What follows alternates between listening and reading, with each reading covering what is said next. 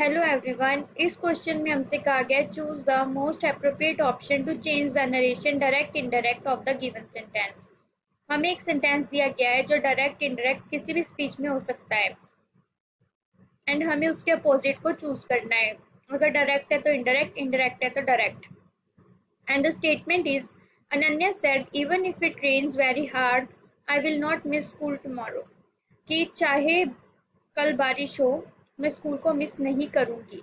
But यहाँ पे जो सैड वर्ड है, इससे हमें पता चल रहा है कि जो हमारा सेंटेंस है, वो पास्ट में है। यानी कि अगर हमारी रिपोर्टिंग वर्ब पास्ट में है तो जो रिपोर्टिंग स्पीच है, उसको भी पास्ट में हमें कन्वर्ट करना होगा। उसके सारे वर्ड्स को। तो क्या क्या चेंजेस हम करेंगे? फर्स्टली अनन्या सेट सेट का सेट टोल्ड कुछ भी आ सकता है। इवन इफ़ इट रेन्स तो जो रेन्स है, वो किसमें कन्वर्ट हो जाएगा? Rain very hard I. I यहाँ पे क्या है? फ़र्स्ट पर्सन है। तो वो किसमें चेंज हो जाएगा? अनन्या गर्ल है तो शी में यानी कि सेकंड पर्सन में। एंड विल किसमें कन्वर्ट हो जाएगा? गुड में। सो so, जो भी हमारी इन रिक्वायरमेंट्स को मीट करेगा वही हमारा आंसर होगा। Now let's see Ananya said दो।